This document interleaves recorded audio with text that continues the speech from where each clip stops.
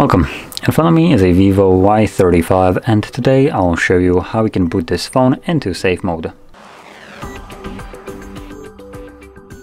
So to get started, let's hold the power key and then once you see your boot options, hold power off.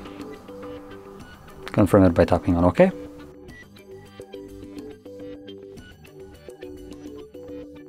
And as you can see, we are now in safe mode. You can see this little marking at the bottom that signifies it.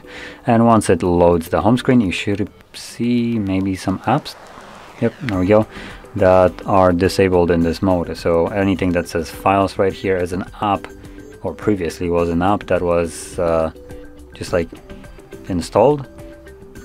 Um, I believe most of those apps came with a device, but even so, uh, these apps are not really supported by the safe mode.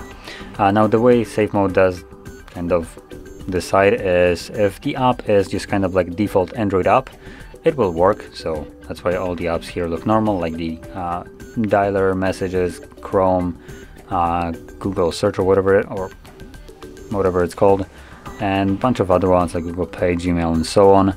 Uh, but apps right here, I'm not exactly sure what they were, uh, are now disabled. Now they are only disabled as long as you are in this mode and this is strictly for troubleshooting your device. So if some of those apps would cause you problems normally, you can now get rid of them uh, in this mode and they just cannot run themselves or neither can you.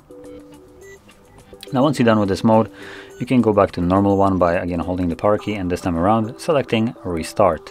Just a single click, it will reboot the device and once it boots back up, it goes back to normal mode. And with this being said, if you found this very helpful, don't forget to hit like, subscribe, and thanks for watching.